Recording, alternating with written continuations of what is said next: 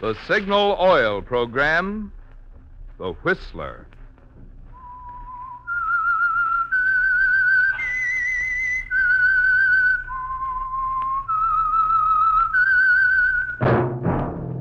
That whistle is your signal for the Signal Oil Program, The Whistler.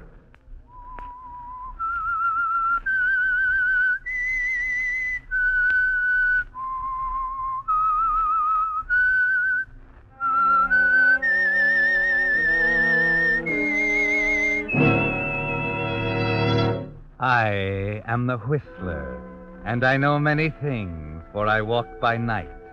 I know many strange tales hidden in the hearts of men and women who have stepped into the shadows. Yes, I know the nameless terrors of which they dare not speak.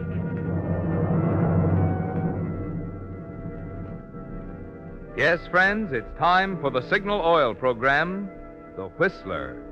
Rated by independent research, the most popular West Coast program. In gasoline, you know, it takes extra quality to go farther. And Signal is the famous Go Farther gasoline. So look for the Signal circle sign in yellow and black that identifies Signal service stations from Canada to Mexico. And now, the Whistler's strange story Weak Sister.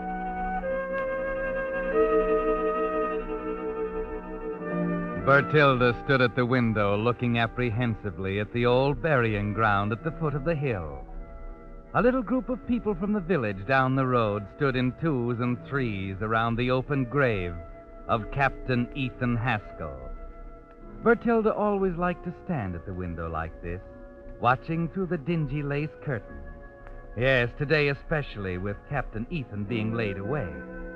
There was a strange fascination in her timid little face, a look of morbid curiosity in her pale blue eyes.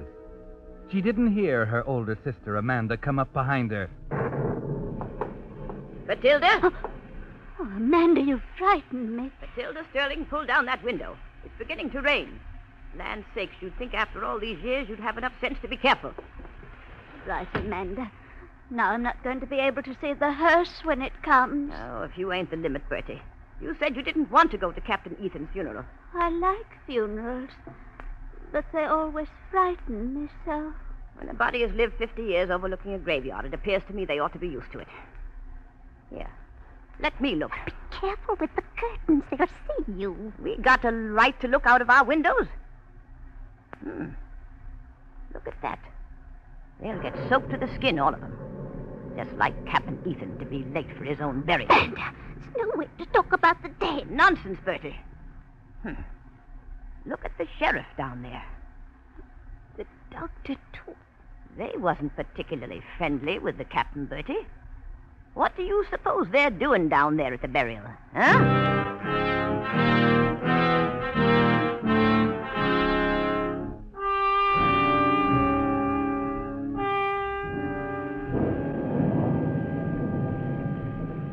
Rolling up your collar ain't going to keep off the rain, Doc. That's not what give me the chill, Sheriff. Yeah, I know what you mean. Don't turn round. Keep your back to the house.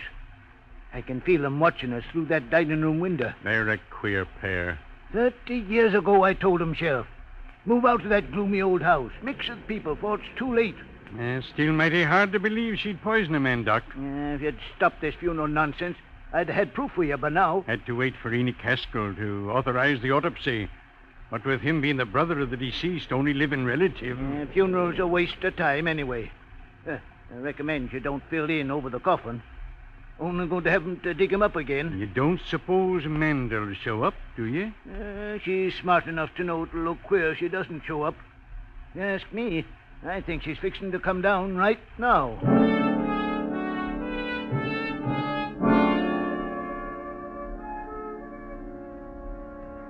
Amanda Sterling, what you doing with that umbrella?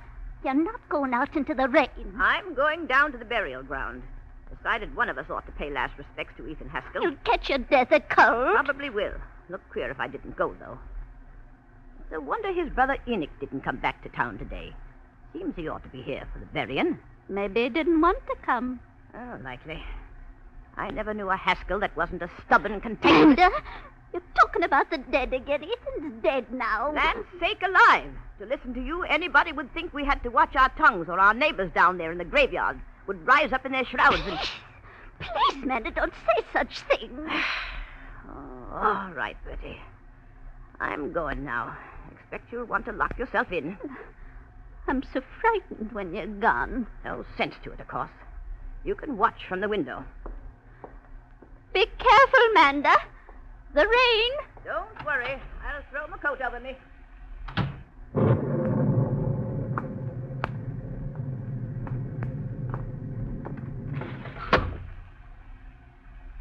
Oh, oh, there comes the casket now. Pretty one with silver trimmings. They're moving back to make way for it. All mourning him. Amanda, too. I wonder what they'd say if they knew she fed him those poison preserves. I wonder.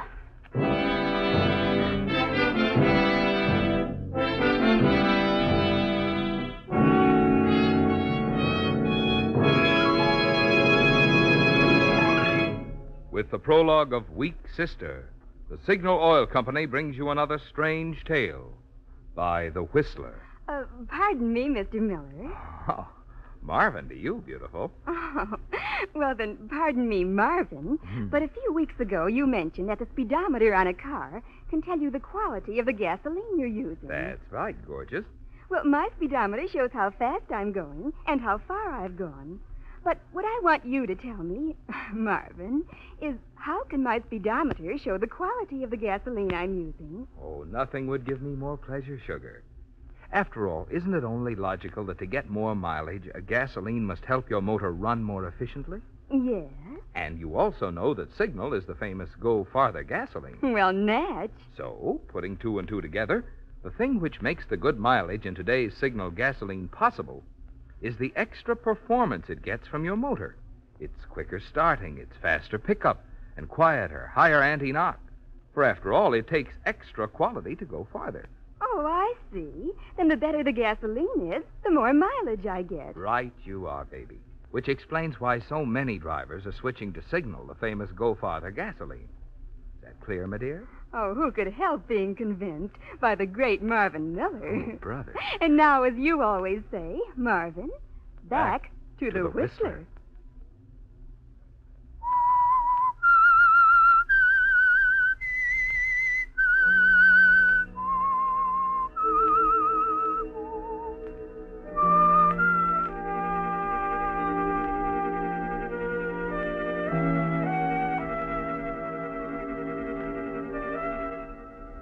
A fascinating thing to watch, isn't it, Bertie? This burial service for Captain Ethan, there in the graveyard at the foot of the hill.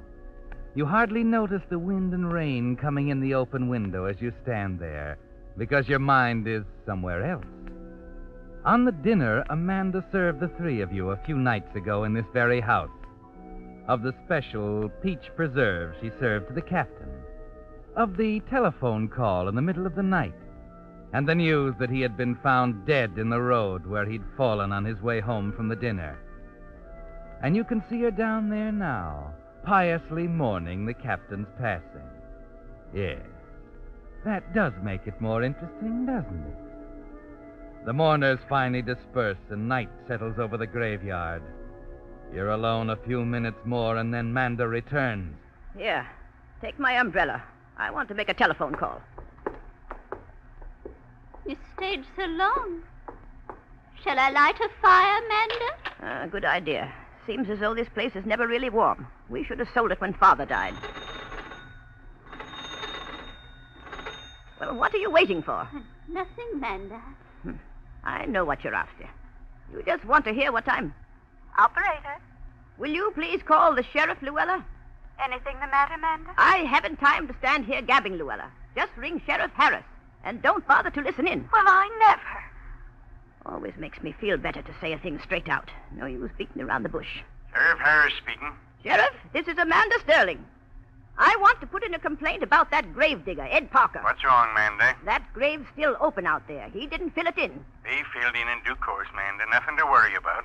Guarantee old Ethan ain't going to climb out and go wandering round. That isn't the point. Better go pull your shades down, Manda, and mind your own business. Well, if you think I pay taxes to listen to that kind of. Let me tell you, Fred Harris, if that grave ain't filled in tomorrow, I'm going straight to the town council. Goodbye. Of all the impudence. Amanda, is the grave really open? Yes, it's open. I ought to go down and teach him a thing or two about manners. What did he say? Never mind, never mind. No use fretting you two. Now, where'd you put my umbrella? There in the corner. Well, I'm not going to worry about it. Some folks, like the sheriff, always has something impertinent to say. Oh. Here. Look what I tucked inside my umbrella. It's a flower. Lily. Yes. I picked it up from the grave when the rest had gone. It's pretty, isn't it? Any water in the vase and the mantel? Amanda, you've got to take it back now. Uh, don't be silly, Bertie. You must, Amanda. It belongs to the dead. Don't expect Ethan will come back for it. Now You're let me doing see. that to torture me. If you take a flower from a grave, the dead will come to take it back. Now, don't, don't let it touch me. Oh, nonsense. You put it on the mantel. I, won't stay in this house another minute. You come for it, I tell you. You come it. Now you know what'll happen, Bertie. Working yourself up that way with your heart the way it is. Take it back. That's all I want. Take it back. Oh, the silliest thing I ever heard of, this superstition of yours. Ah. All right, Bertie. I'll take it back to the grave. But just to show you there's nothing to be afraid of, I'm going to take you with me.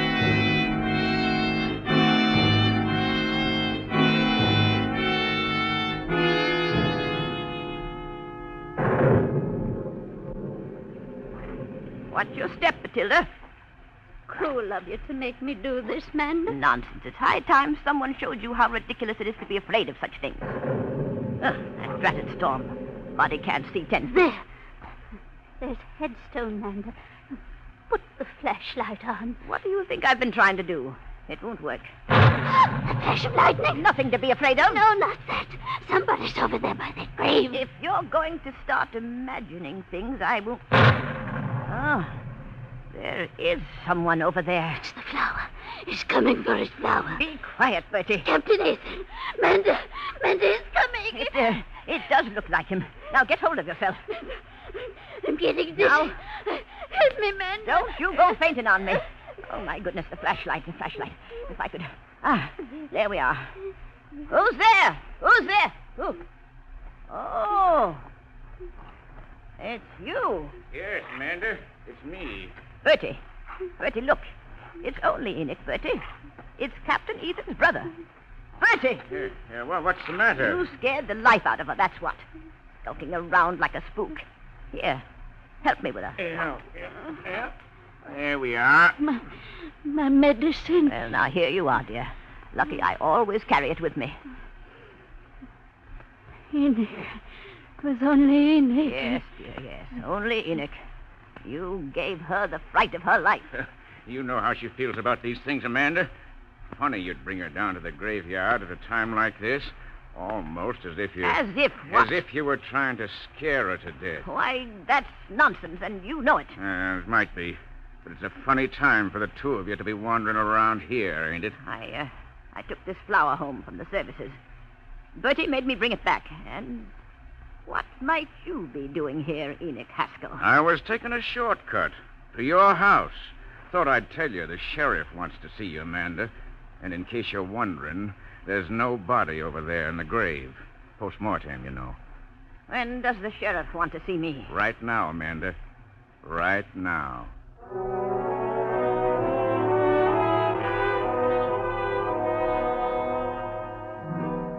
Well, Bertie, at least it's done. The flower is back where it belongs. You're shaking now and cold, and your poor sick heart is thumping inside you.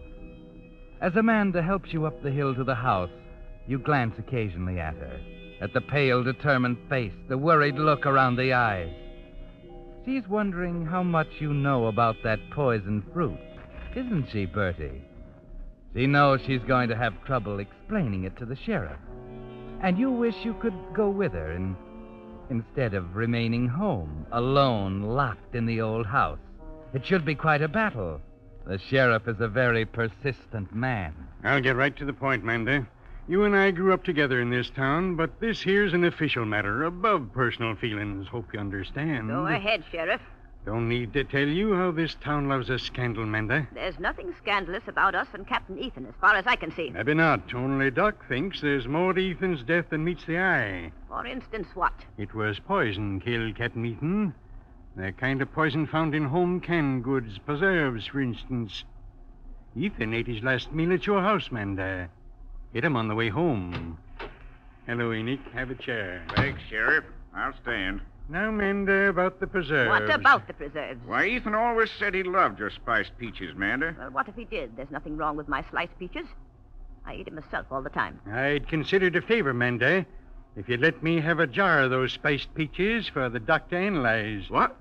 You going to give her a chance like this, Fred? I've got nothing to hide, Enoch Haskell. Ah, maybe not. And then again. What do you mean, Enoch? Well, I can't forget that look on her face down in the graveyard when she thought I was Ethan. I think you're wrong. Known her all my life. She wouldn't harm a fly. No? Well, I think she killed my brother. Give me 30 seconds with that weak-kneed sister of hers. You hers. keep away from Bertie if you know what's good for you. Why, Amanda? Why? You afraid she might spill something? Is that it? She don't know anything about this. Don't get riled, Manda. Fact remains, Ethan died from poison, and he ate his last meal with you. Now, that can either mean some of the fruit spoiled, that he accidentally got some of it on his plate, or... Oh, what? Or it might mean he got it on purpose. In that case, of course, it'd be murder, wouldn't it? Now, I want you to go on home to dinner, Manda, and uh, come back with them spiced peaches for Dr. analyze. Sheriff, you're. You're not going to get Bertie into this. It, she's such a frail thing, a weak heart. Sorry, Manda. If Doc finds poison in them peaches, I'm afraid we'll have to talk to her. Now, if you don't mind, Enoch, there's something I want to talk over with Manda in private. Where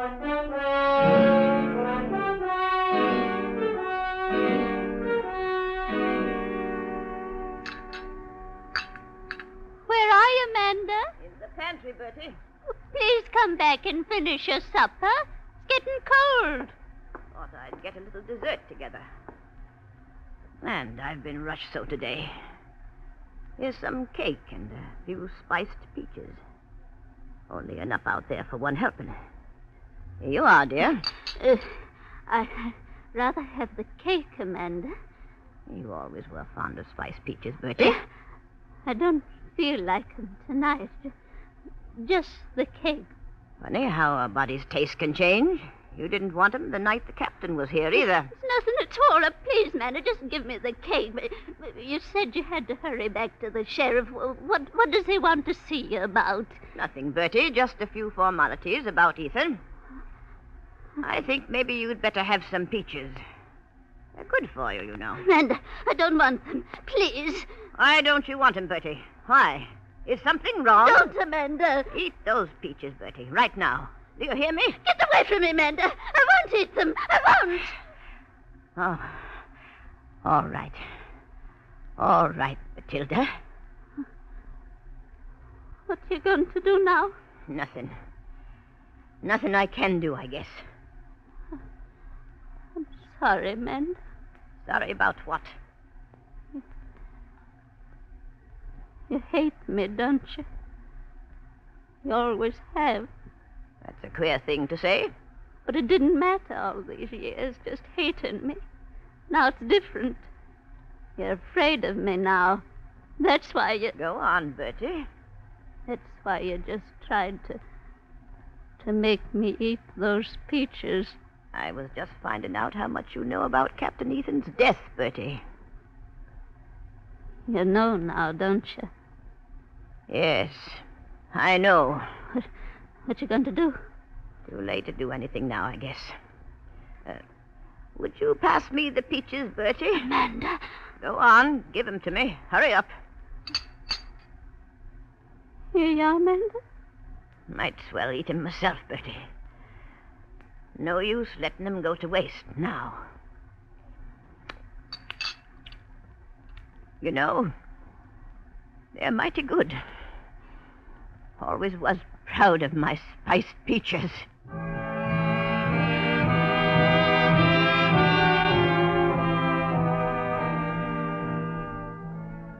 You're too weak to get up from the table, aren't you, Bertie?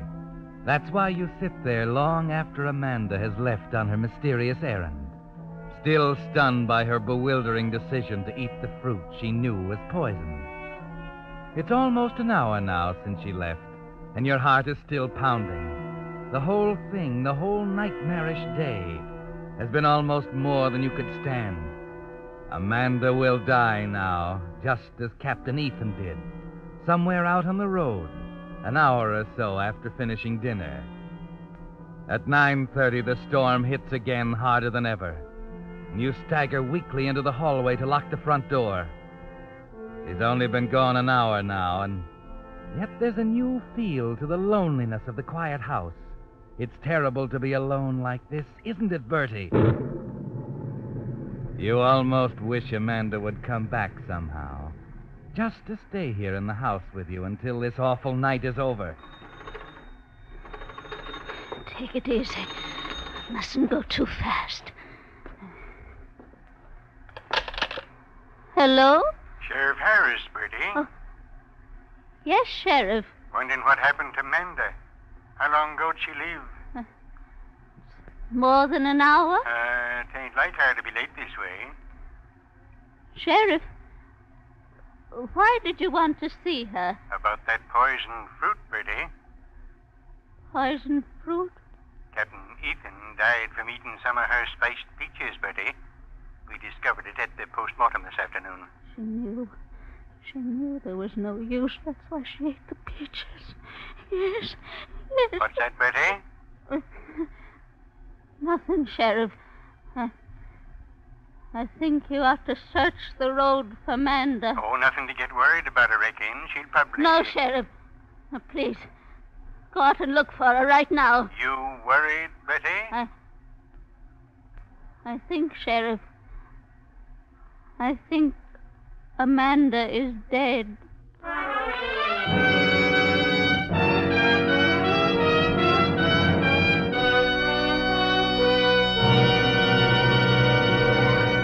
The Whistler will return in just a moment with the strange ending of tonight's story.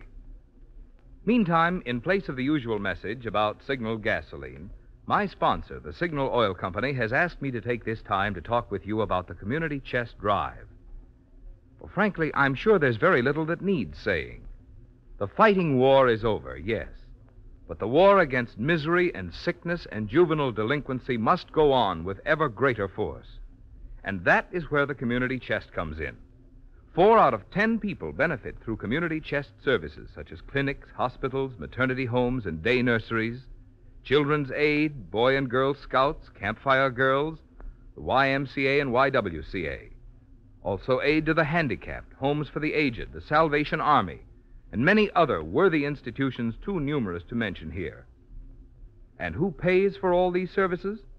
everyone who is fortunate enough to have a penny or a dime or a dollar to spare for those who are less fortunate. And you know, there's a wonderful thing about money that you share in this way. Money that you spend on yourself brings happiness to only one person. But money that you share with the needy brings happiness to so many, including yourself. Now, back to the Whistler.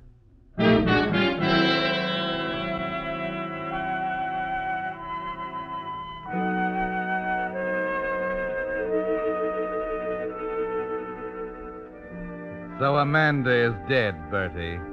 At long last, after 30 years living together, Amanda is dead and you're free.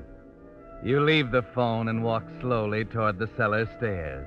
Yes, there are things to be done, Bertie. The doctor and the sheriff know about the poison preserves now, and they'll be here soon. You're sorry about Amanda in a way. It's too bad she had to die by her own hand, knowing it was coming. It's too bad she didn't die the night Captain Ethan came for supper. The night she graciously gave the captain her dish of preserves, simply because she didn't want them. While you sat across the table from them both, paralyzed with horror at the awful mistake, unable to say anything. Yes, Bertie, it's too bad Amanda didn't die on the night you planned to kill her. Down into the cellar now, yes. Over to the preserve cabinet, Bertie. Yes. To the bottom shelf. And the two jars of fruit you put a special mark on the day you found they were poisoned. Yes. And now to the sink. You smash the jars with a hammer and start to pour the fruit down the drain. Your hand slips. A sharp piece of glass cuts deep into your wrist, and a stream of blood rolls down your arm. You drop everything in the sink and run up the steps to find a bandage. The sight of the blood has made you weak and dizzy. You remember the napkins, the napkins on the dining room table. Quickly, Bertie. I better sit down for a minute. And then there's a tap on the window. You raise your eyes. Amanda! No! No, Amanda, you're dead! You can't come back, you're dead! Go away, Amanda! Go away!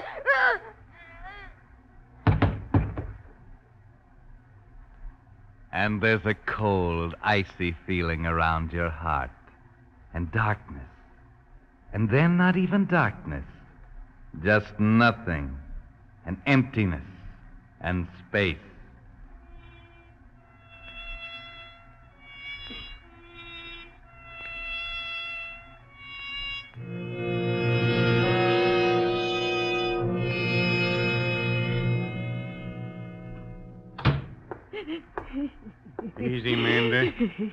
Nothing we can do now.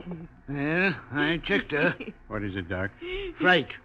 Her heart probably gave out when Manda walked up to that window. If only I hadn't forgotten my key. That was just like her. To lock herself in that way. Yeah, Manda. At least she did you her last kindness. Without meaning to, of course. What's that, Doc? She cleared Manda of any implication in Ethan's death. Buddy got that gash on her wrist while she was trying to get rid of the poisoned jars down in the cellar. I, I still can't believe she could have done it. I know, Amanda. It was just as hard for me. Knowing how much you cared about her. There was only one way to convince you your sister Bertie was a murderess. To show you she knew that fruit was poisoned all the time. Even before she tried to give it to you the night Captain Ethan came for dinner. Sheriff's right, Manda. Don't you see? That's why we ask you to switch a good jar for the bad one out in the pantry and try her out on it. If she took it, she'd be innocent. If she turned it down, But, but it wasn't fair. She must have thought I was trying to kill her. Don't you see, Amanda? It wasn't for her sake we did it. It was for you. She was so weak, so helpless. But it was the easy way, Amanda. The easier way for her.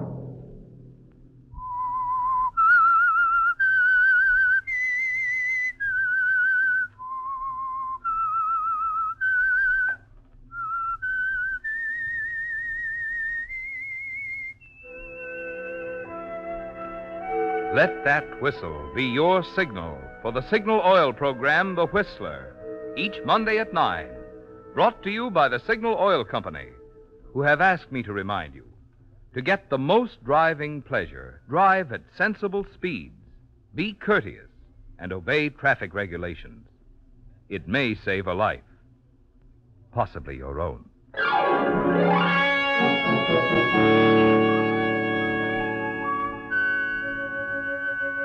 Featured in tonight's story were Martha Wentworth and Peggy Webber. The Whistler was produced by George W. Allen, with story by Jack Kelsey, music by Wilbur Hatch, and was transmitted to our troops overseas by the Armed Forces Radio Service. This is Marvin Miller speaking for the Signal Oil Company.